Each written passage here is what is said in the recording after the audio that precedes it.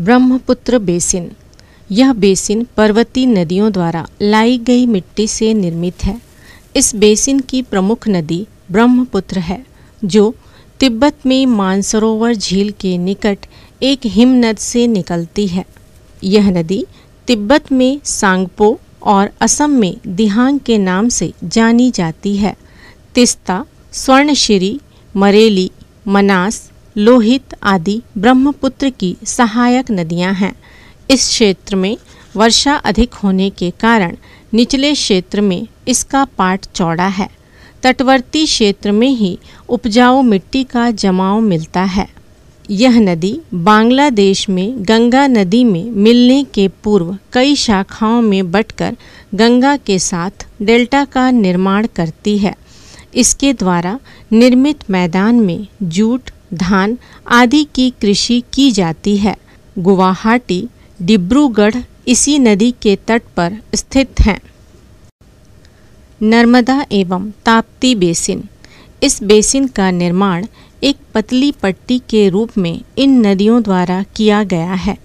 ये दोनों नदियाँ एक दूसरे के समानांतर पश्चिम दिशा में सकरी भ्रंश घाटी, दरार घाटी से होकर बहती हैं।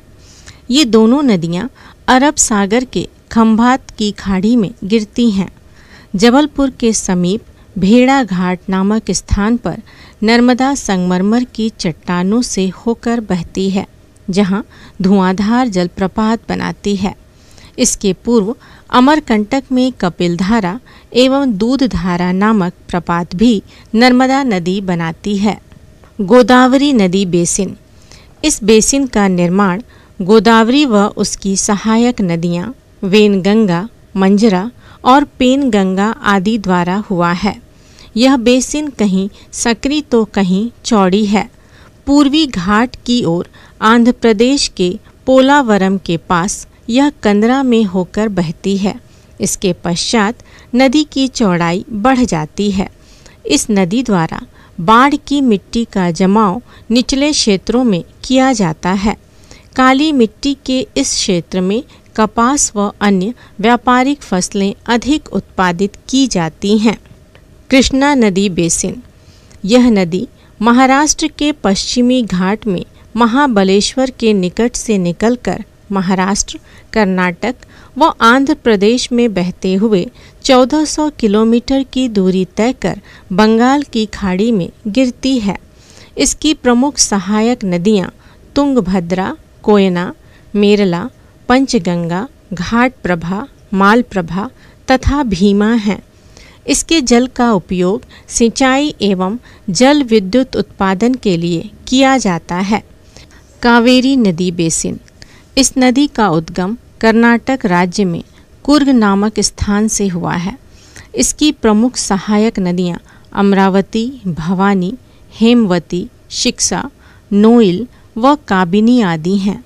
इस नदी पर कई बहुउद्देशीय परियोजनाओं का निर्माण किया गया है, जो कृषि क्षेत्र के साथ साथ उद्योगों के विकास में भी सहायक हैं। महानदी बेसिन। इस बेसिन में महानदी और उसकी सहायक नदियाँ, जैसे शिवनाथ, हसदो, माण आदि प्रवाहित होती हैं।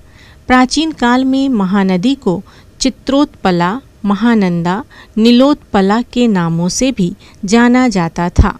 यह नदी छत्तीसगढ़ की जीवनदायिनी कहलाती है।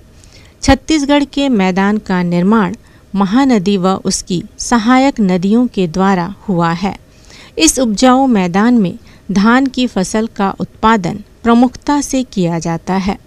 इसी कारण छत्तीसगढ़ को धान का कटोरा भी कहते हैं। यह नदी छत्तीसगढ़ में प्रवाहित होती हुई ओडिशा राज्य में प्रवेश कर बंगाल की खाड़ी में गिरने के पूर्व डेल्टा का निर्माण करती है। छत्तीसगढ़ में इस नदी पर रविशंकर सागर परियोजना, गंगरेल बाँध, मोगरा व सिकासार नामक बहुउद्देशीय परियोजनाएँ निर्मित हैं।